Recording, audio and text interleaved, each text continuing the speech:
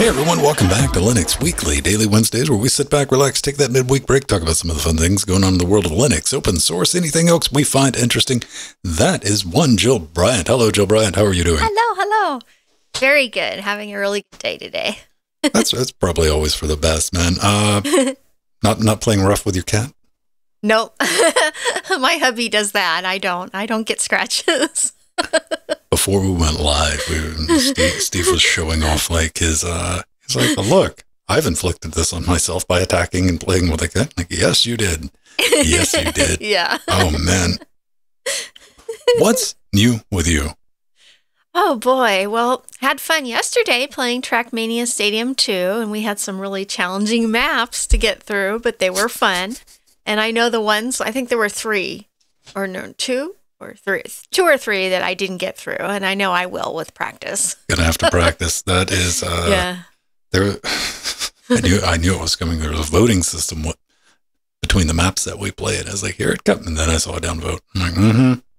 Oh, I upvoted everything. so somebody was displeased. But yeah, we're, we're kind of moving on a little bit. Past couple of weeks, been going through some really simple, you know, just, I mean, challenging. You know, it's not like drive straight, drive straight to exit, but, you know, just getting back into wall rides and stuff like that. So we're moving it up a notch. Didn't I say before we started yesterday? I'm like, there's some maps people are not going to be able to make it around. Yeah, you did. In five minutes. You prefaced that. Yeah. Before I was one of those people, mind you. Okay. Yeah.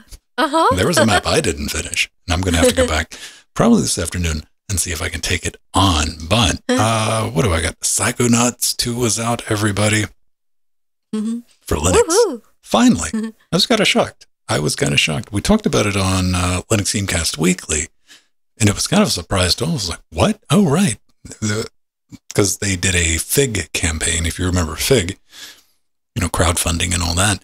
And they said, hey, yeah. we're going to do a Linux version. I just forgot that was ever going to, you know, Microsoft bought Double Fine. I'm like, well, we're probably never going to get that Linux version. Lo and behold, yesterday, there it was. Unreal Engine 4, downloaded it. It's not Proton, it's native. And, uh, you know, gave him my 60 bucks. I'm like, here you go. I only had about 15 minutes to play around with it definitely going to play some more. Hopefully this afternoon if I get some of that magical time. And um, it's a really nice looking game, very performant. Apparently, uh, Arthur said it ran very well on a Steam Deck, so which I had nice. to assume because even on my 3060 at 4K with the render is set to about 75%, I was holding 60, 75. Oh, all right. Right on. Having a good time with that. Also, if everything catches fire, crashes, and burns, that's because we're testing out EGL in favor mm. of um, GLX with OBS, with the capturing system. It's a pull request that was seeking testers. Hi, we're testers. we're going to see if that explodes. Should okay. fun. But the big news, the big news that we got to talk about is something that we had to double check. Yeah. We did because we were like, has System 76? I mean, look, look, we were doing research, okay? Look at that. I Old mean, school. Yeah, website. we were 2005, man. System 76. They've teamed up. They partnered with HP to give us yeah. a little something. Yeah, absolutely. So, yeah, th- then this is just such exciting news. And it actually was tweeted by Carl Richell, the founder and CEO of System 76 last Friday, which is when I saw it. So, System 76 has teamed up with HP to make an HP laptop preloaded with Pop OS. And yes, I have a shirt on, a Pop OS shirt on. I love Pop OS. So this laptop is called the HP Dev 1. And as the title says, it is built for developers. It is not yet out, it is coming soon. And you can get on an email list to get notified when it does uh, land.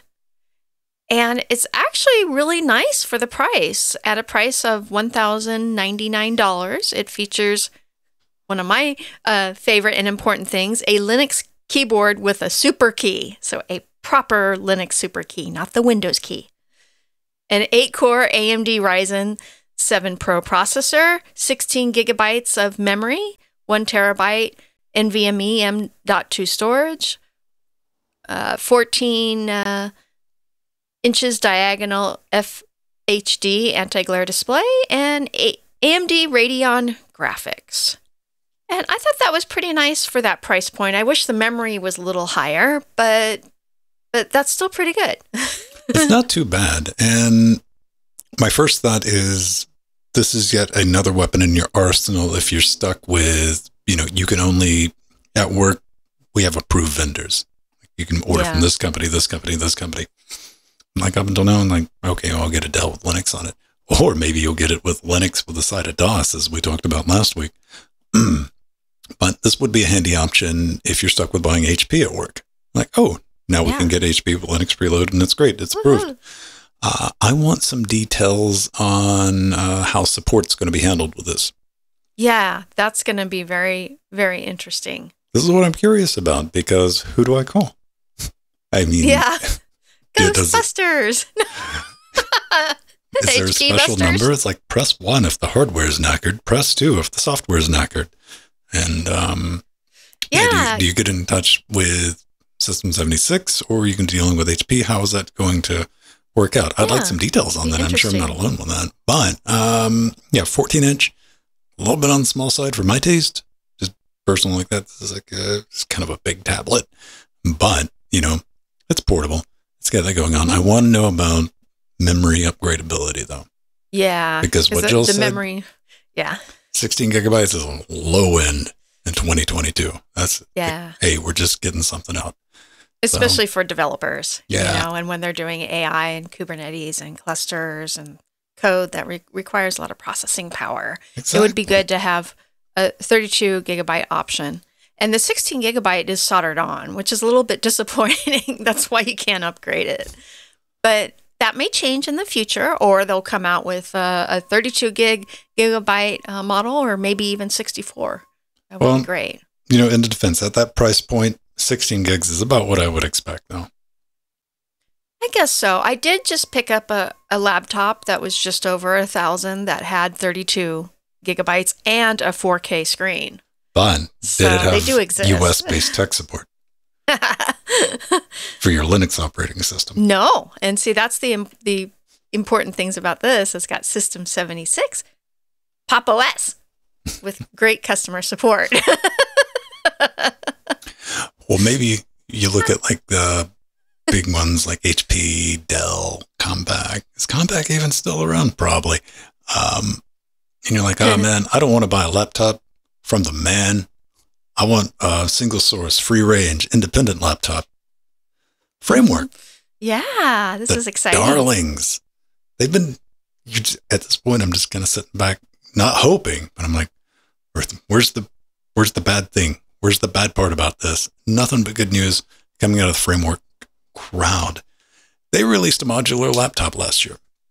Mm-hmm. You know, it's mm-hmm. been a full year. Can you believe it? I mean, wow. since the upgradable no. laptop that could Hey. I, f- I feel like we were just talking about it on LWW a few months ago. Right? Um, yeah. Well, it turns out Intel's released their 12th gen hotness, and maybe you need slash want an upgrade.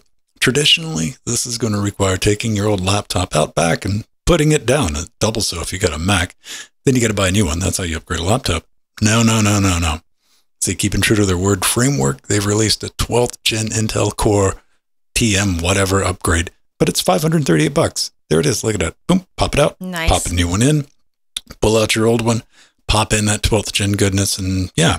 Now, if you're upgrading the main board, you got to check out some of the open source designs that have been released uh, earlier this year because they want people to reuse their existing so motherboard. Cool. Yeah, you can make some really cool, like usable cyber things. Deck. It looks like right? a cyber deck. Yeah, those are al- cool. they also wanted to point out their um, did it already? Yeah, they have a 2.5 gigabit Ethernet module. Yeah. Yeah. Very nice. Which yeah, is and that's another something thing that I've been wanting. Yeah. Yeah, I don't understand why anybody wants 2.5 gigabit. Peasants. Uh, but it is available. And uh, no, like the different little modules that you can get with the framework and just roll your own. Because for years, and I mean years, from when I was in the air 24 7, flying back and forth, I had a bag with my laptop and I had another bag filled with batteries because we could swap out batteries. Mm-hmm. Yeah. You know, back in the day, get off my lawn. And I could tell you, like, oh, I got to go from here to here. I was like, how many batteries is that going to take to watch a DVD on a spinning drive? This is reality. yes, This absolutely. is not, something you deal with in modern time, though, because your battery's built in. Like replacing it can possibly be a nightmare. But we were told, well, you had to do it this way. You had to do it with this, and everything had to be integrated, soldered on. That's the only way we make it nice, sleek. You know, if we tried to build a modular system, and I'm talking all other laptop manufacturers, it's going to be this big clunky mess. This is one of the reasons I adore Framework because they showed up and said, false. Here it is. It can be done. You just don't want to do it because you're razor thin margins. And yet, Framework's been able to release very nice, very slick looking laptops at a reasonable price. Yeah, absolutely. And they've been listening to not only the tech community, but the Linux community. And they've spent the last year gathering feedback from, from um, the early Linux users and uh, tech adopters to refine the product as they uh, scale up and improve it. And I think it's really wonderful that they actually, what was really cool is they dropped the price of the first generation framework laptops. And then you can upgrade to the latest modules for better performance whenever you'd like. And this lives up to their motto of sustainability, upgradability, and repairability. And they're doing it. They're doing exactly what they said in their mission statement when it originally came out. And what's really cool is the Framework Laptop DIY Edition 11th Gen Intel now starts at $679 instead of $749. And the laptop 11th Gen, you can get that one. Uh, it dropped $100 to $899. So that's that's sweet. That's really nice that they're supporting also backwards compatibility with their modules as well. and Fedora 36 works great out of the box with full hardware uh, functioning, including Wi Fi and the fingerprint reader on the 12th gen frameworks. Awesome. And 11th gen.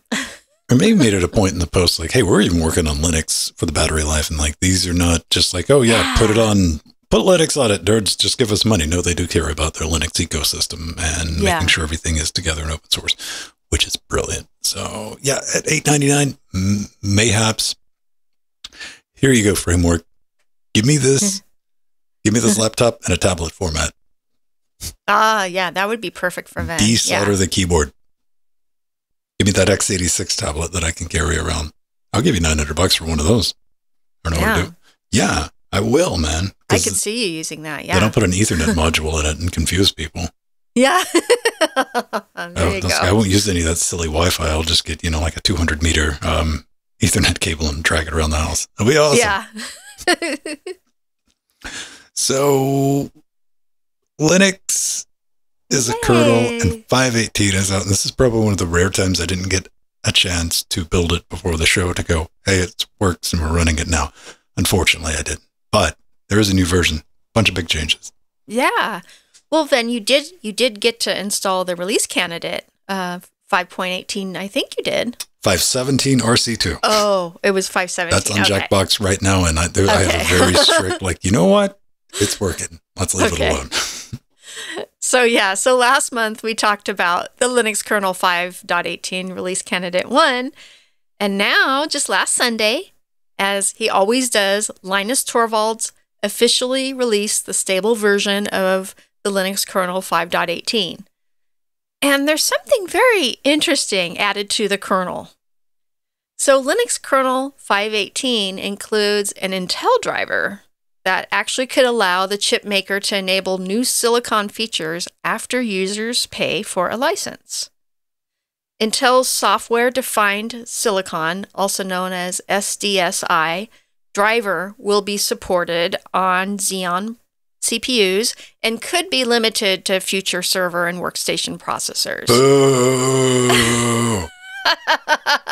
Well, honestly, you know, in, Intel, you know, could, for example, use software upgrades to tailor CPU features to data center or other Intel's tried this before, Joe. Yeah, I, and I was just, I, I had uh, recalled memories of something like this done before. If you were, this was before my time, but uh, I didn't ever see this in Meat Space, but it was, uh, I think, towards the late 90s. and mm-hmm. I think it was Best Buy in the United States. I don't know if they ever did it globally, but they had a where you could buy a CPU and you know you buy your tower, but if you wanted yeah. to upgrade it, you could purchase a card to unlock the digi- uh, additional megahertz. Yeah, I remember that. Yeah. Fortunately, that you know, unfortunately, that was on the the desktop consumer, but this is supposed to be for enterprise. So hopefully, that's where it stays. you know what? I can just see Intel. Intel's like, no, the average consumer's too smart. Yeah. They, they realize, you know what we need? The only way sales executives we can trick them into buying this. Yeah.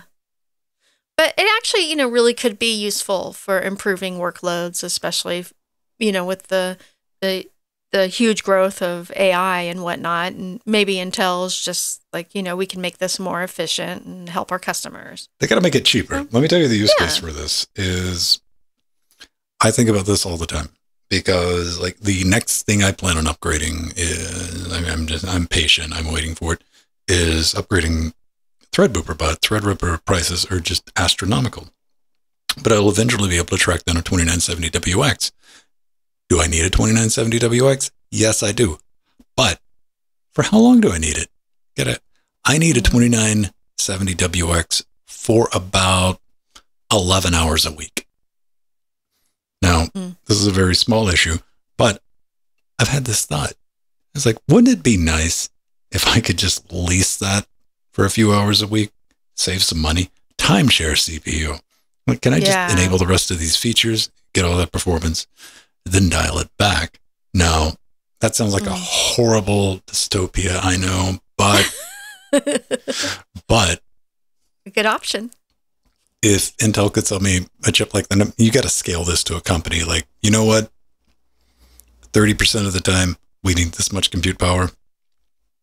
The other yeah, we can dial it up. And I mean, it, it's like flexible. But then again,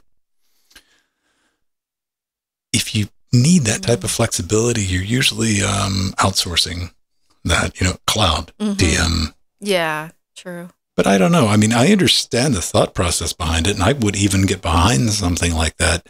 But yeah, for consumer stuff, I don't see how it could make sense. Yeah, absolutely. And we, we know that that failed before for consumer. oh, come on. They just want to see how dumb people were. Like, yeah. oh, oh no, we went too dumb. Hmm. yeah. So, some other interesting features of Linux kernel 5.18 is that it now supports 64 bit integrity checksums on NVMe devices. It's actually that's something we've needed on Linux. And it also has support for HP laptops using Realtek audio. Very nice, because sometimes that's an issue. I've got some old HP laptops and How can you, you know, tell Joe audio doesn't work under Linux? well, on those laptops I just installed a USB audio dongle. and there there you have it. There it works.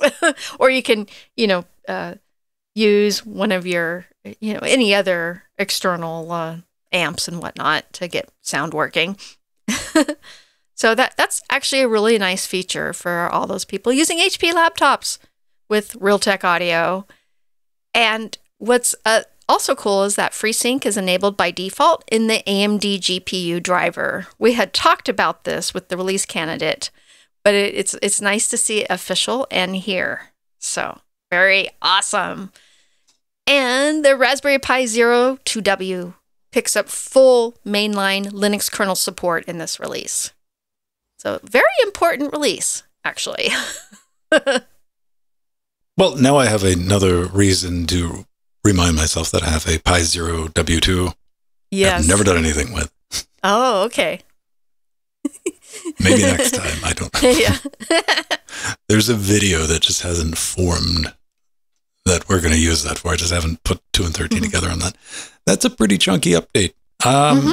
I look forward to, you know what? I'm probably going to keep Jackbox and five. What I'm waiting for is the um five something after you know five sixteen or after long term term support. Oh, okay. So I can just stabilize that, so I can go back and redo all the benchmarks for all the audio interfaces.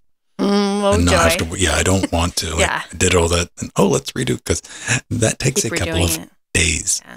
All right. mm-hmm. Cool. Uh, what do we got up next? Oh, right. Yeah, that's your awesome video you made, Venn. A video that was probably about seven months in the making. When I roll wow. it all, all the way back, I, I, think about when did I have this initial idea of trying to explain this? well, I, something I've always wanted to try to explain, but you got to come up with a way to do it correctly or an attempt to do it correctly. And that one thing is the audio IP, audio over IP system that we're using right now to communicate because, you know, traditionally, if you get, I see other people's like OBS setups and stuff like that. They have OBS open and they'll have like one window here and one window here, and they're doing like multiple capture and their audio is just a hot mess. I use multiple PCs to do that, and uh, all of our audio comes over here the Jackbox, which is another PC, and it's doing all the stuff like our mix minus, and it's doing the basic, very minimal vocal processing that no one, because, you know, here we go. We, we can be a regular, we can be a regular stream. I don't even know how well that's coming through. Can you even hear uh, me, Joe? Yeah. Yeah. Yeah, you're you're pretty mumbly sounding. Pretty mumbly. Because yeah. you're going through a broadcast mic with no processing whatsoever. Yeah. So I wanted to show people how we take advantage of NetJack to do that, and it's kind of a win. It's a it's a stealth win for Linux because there are multiple audio over IP systems, but they're proprietary. They require extra hardware, and they most certainly are not open source. Things like AVB, MADI, and um, what else could we use? I have it right at the beginning of the video. I can't even think about it. Uh, but they exist here. Let me just go over to the video. Talk for me video. Dante. Dante. there we go. Now, that's another thing. So, everything you wanted to know about NetJack, but didn't know to ask because you didn't know what a NetJack was, I'm going to try to answer it in this in about 10 minutes or less. What I try to do is condense a 45 minute talk with 15 minutes of Q&A at the end into a 10 minute video. Now, if you've ever been curious about audio IP on Linux, this should get you pointed in the right direction. And I go over the reasons of, hey, how much would this take in hardware to reproduce? All of that, all of that, all those mm-hmm. interfaces, five audio interfaces, 19 points of failure. We can condense that with the NetJack into four Ethernet cables. So the mm-hmm. savings, maintenance alone will get you in the right way. I mean, it is very much a handy open source way to move audio between multiple PCs. And again, doesn't require any special hardware. Walk you through that if you just want to see it for entertainment or if you've just been NetJack curious, there it is. You will now, I promise you, at the end of that video, kind of understand what a NetJack is. Mm-hmm. Don't be scared of it. I even have example commands, and I broke down the cryptic um, settings that are wrong on their wiki page. Oh yeah, I, I, know you were talking about that. that was uh yeah, that's something. See things like that you forget to tell people because Jordan has a scaled down version in his studio of uh, yeah. NetJack set up with his laptop and his main PC. And I'm like, here, just use NetJack 2 and do this, do this. And like, it won't work. And I'm like, what are you using to set this up? And he take, it's like the documentation's wrong, I guess. Ooh, right. I had to decrypt that a long time. So yeah, all of it's correct in the video and it'll work as shown. So yeah, there you go. NetJack. Yay. It's, uh, it's not your parents' NetJack. Get any thoughts on that, Jill? Other than NetJack yeah. or Burr? Yeah, no, I, I think this is wonderful. We needed a, a really easy to understand, easy explanation of what NetJack is. I've played around with it, so I understand it a little bit, but it's I I'm not a, as advanced in that topic as Venn is. He's the guru. I just read the manual and realized the manual was wrong, so I rewrote it. Yeah. so yeah, if you've been sitting around the house, you're like, man, I want to set up a broadcast studio, like a real one. Mm-hmm. Give that a look. That'll get you started. Cool. Uh, one of the ways we're able to do that is with your help. And you want to help out the show, share the show, like, subscribe, all the fun stuff that you'd normally do. But we've got some super, super special people that back us on Patreon, patreon.com forward slash Linux Gamecast. We got a gang of membership levels and something yeah. sweet on each and every one, up to and including access to our Discord. Of course, we always have IRC open completely for free, and it's even bridged to our Discord and the live channel. We're not trying to keep anybody out, but we got a little side hustle over there, super secret room that we're hanging out in the other six days of the week, you get a couple extra shows. We got a bonus show that we do, the pre pre super shows, which is our week in review, what we're up to, media review, all the other stuff that's not necessarily 100% Linux related. We do that mm-hmm. um, before the show on Saturday, but you also have access. If You want to listen to that live. You get the live and uncut version in podcast format.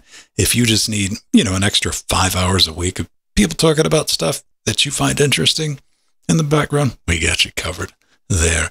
And things like the NetJack video. I do early access stuff. I'm like, hey man, if you're gonna help us out, help us make this stuff, you're gonna get first crack in it.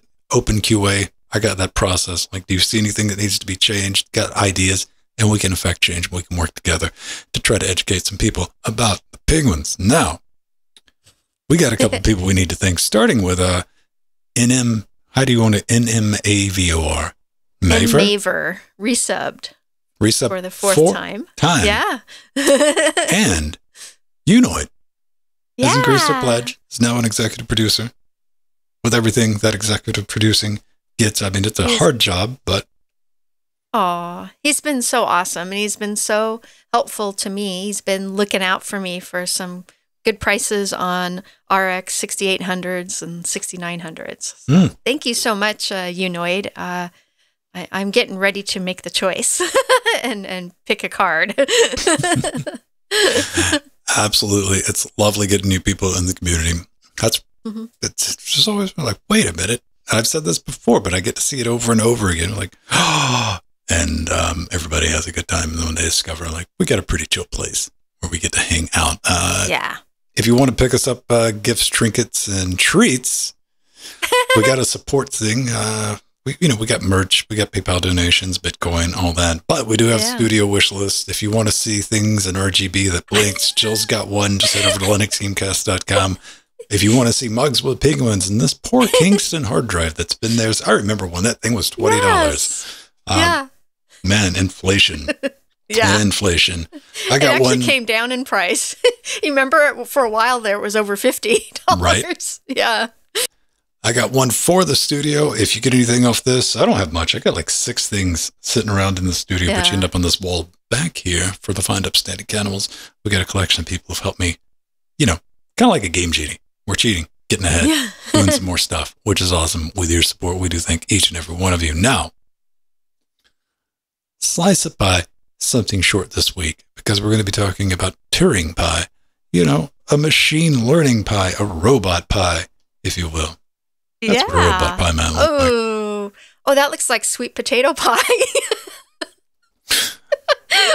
like a a snowman or a robot? Yes. I don't. It looks like it's going to kick in your door and uh, steal old people's medication, and they didn't have Old Glory insurance, so they're just out of luck.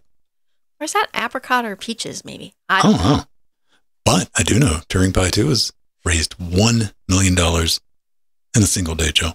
I know. It's this is actually ama- amazing. So yeah, the mini ITX cluster computer, the Turing Pi 2, has just launched their Kickstarter and with 20 days still to go, it has passed its $64,000 goal with almost 1.4 million pledged. Pretty uh, impressive probably one of the most successful Kickstarter campaigns ever. Actually, that that is really impressive. And what's really cool is that the uh, Turing Pi 2 supports a brand new module, the Turing RK1, which features the Rockchip RK3588 octa-core processor and up to 32 gigabytes of RAM. And it also supports the Raspberry Pi Compute Module 4s, which can be used via adapter in its four SODIMM slots. And you can also use NVIDIA Jetson Nano TX2 NX boards and Xavier NX boards modules too, or mix and match a combination that suits your needs. And I think that is kind of cool that you can can put uh, different different brands of microcomputers into the slots. That that's actually really cool. They don't have to be matched. It's pretty neat. You got to think about it. $209 for the basic kit. And there's only 73 left. By the time, if you're listening to this in podcast format, probably sold out of that. But what do we got at the next tier? We got a couple of things in here. Oh, scroll down. Yeah, Two, there's a one for 219 as well. 219. How many's left? Uh, mm-hmm. none, I guess. None. yeah. okay. Oh, hang on. That one says limited 73 or 14. Maybe that one's just full on. Full on. So, oh, no. Yeah. Limited 474 left. Uh, two. You can get okay. two for $409. Okay. How much? How, how much for them to take me out to dinner? Um, hmm. 419 all gone 199 you oh come on I, I expected at least like one crazy thing that was like a couple of thousand dollars all right fine Fine, this I'll is why they've. I think they've done so well. Is they don't have one listed for several thousand dollars. You gotta You've have got one. reasonable tiers. you gotta have one where you, you know, we, we, we go out for like, I don't know, Tex Mex. I get a foot massage or something like that. I mean, yeah, true. It's really fun to see. Really glad that they did so well, and you know, they've already proven, most importantly, that they can ship product. So you're going to be looking at estimated delivery of September, a couple of months down the road pretty much tells me they get everything taped out, it's done, they've done a test run, and they're ready to put in the main order. So we're gauging yeah. interest at this point to see how big that order needs to be. If that's something you're looking at, even if you just want to pick up something to store your compute modules that you bought because you're addicted to buying Raspberry Pi devices. Yeah, hey, there you go. There you go. All right. Uh, at the beginning of the show last week, I brought up something. Yeah, what did you bring up, Venn? Dare, dare I say, I asked the internet a question, Jill. Yes, you did. I was kind of curious though, because it's not something you typically think about. Like I, I have a bunch of monitors surrounding me right now, and sometimes I lose the cursor because you know it's kind of hard to do it on the 43 inch monitor. It's pretty easy to find the cursor, but then I get over to one that is in portrait mode and it's a high yeah. resolution portrait. Lose it there, and sometimes it might be over here on the 28 inch, which is another 4K monitor ah. And so what I do is I end up just like spinning around the trackball until I, you know, T Rex sense motion. I'm like, ah, there you are. Uh, like, is, is, there an application or something like that? Maybe a hotkey combination and like make the cursor like have like RGB seizure mode or something. Yeah. well, turns out maybe there is. Uh, yeah. Synthetic Owl wrote in mm-hmm. and they're like, Venn Ubuntu binds XFCE4 Find Cursor to Super F1. So Debian might have that too. All right. So this this got me on like XFCE4 Find Cursor. And I typed that in. I'm like, well, it didn't do anything. You know, I just went to the console, punched that in to see if it was going to do something. I'm like, okay, fine. Maybe not. Maybe not. But then eShep writes in, these came in literally in the same hour. Uh, wow. eShep says, uh, duh, of course there is. Are you so old now that you've forgotten about the magic of XDoot? XDoot, that's what I call it, XD tool. I don't know. Have you seen the guide I made about XD tool about how to remap the Elgato uh, Elecom Huge 5? No, ah. I know it's a ah. thing. Uh, do you also require assistance creating the special key, granddad? Or you think you can still manage that bit on your own? Cheers. eShep. eShep. You're awesome. Now, I was able to put these two together, and something we were talking about in the pre show, go back and listen to that if you are a patron, is yes, because I don't spend much time in the accessibility functions because I've never had a need to. And, but, you know, something like, hey, let's temporarily enlarge the cursor naturally, I guess the settings are going to be in there. And sure enough, um, Jill was looking around. We were, we were playing the home game together earlier. Mm-hmm. And there's an option to um, find the cursor, like to send out, you know, a Blinkatron where the cursor is. So you go to that page in accessibility, which I did. And, you know, it's, you have to enable the accessibility first. Then you can enable that. Then you're able to launch and actually get something out of launching XFC Find Cursor. Yeah. In that menu. Then, then it, it just tells you, they're like, hey, by the way, you can rebind this. To, I'm like, oh, okay, that's fine. Uh, where do you have to go? You have to manually rebind it to um, a key using the keyboard shortcut. You'd back out of that, go into keyboard, go into keyboard shortcuts. But then after you're done with that, make sure you back out of that. Then you go into Window Manager and check for predefined keyboard shortcut conflicts that it won't tell you about until after you press that button. Mm. Dear anyone working with XFCE4, all that needs to be on that same page. Yeah. Because you're already in dealing with somebody with accessibility issues. None of that's like that I click on that, it should say, hey, what button would you like to bind this to? Do a simple enough check to say, oh, by the way, this is already bound to this other thing. Pick something else. Just unsolicited advice right there because that's a multi step yeah. process. Too, I could easily see somebody just tapping out of that and like, you know what? I'm just going to use KDE or I'm going to use GNOME or I'm just going to use, I'm just kidding. Nobody's using Unity, but you get my point. You get my point. And uh, once you yes. do all that and you do bind it, you click on it and it sends out like a radar signal. Yeah, and, red, bright red. Spot.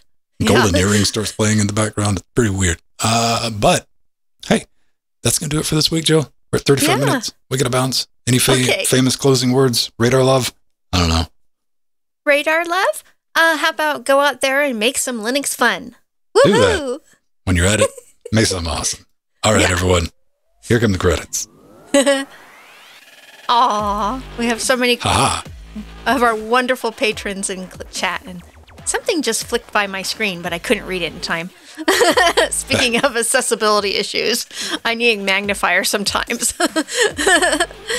so we have right now in chat, we've got Inertia, we've got my husband Steve, we've got Arthurian, we've got Mir PPC, we've got Got Mr. Alert. Oh boy, there's so I many. I think all the beautiful party patrons, all of our sea monsters, like no, yeah. David Hacken Strider. I saw in the death notes. Yeah, K, we got Dodger Cheesy. Bacon, Steve and Jill. Hey, they're even there. and a yeah. gang of Gerald's that you can see, possibly read on episode 328 of Linux Weekly Daily, Daily Wednesday. Wednesday. Hey everyone, hope you had a fun time like we did. We'll see you next week. Bye bye. Bye bye.